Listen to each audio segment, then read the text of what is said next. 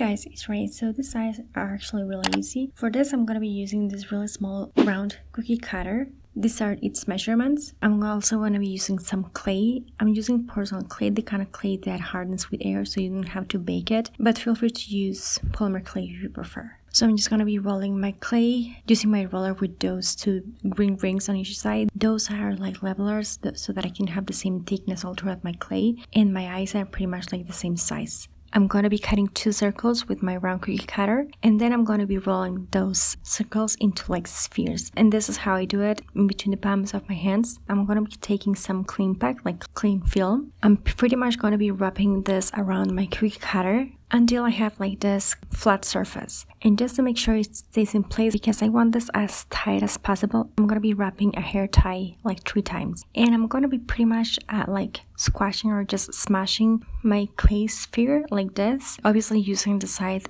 that has like my cling pack in it. And I think it's cool because you can see how it's happening right in front of you. And I'm gonna let this dry. If you have polymer clay, this is when you bake it.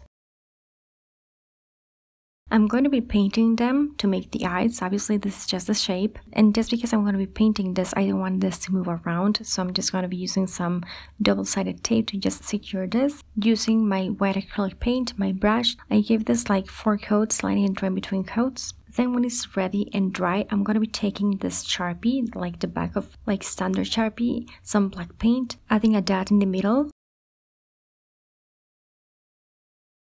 Then I'm going to be using this other tool. I do have the DIY for this one. It's actually really easy to make. And I'm pretty much going to be adding a tiny dot on top.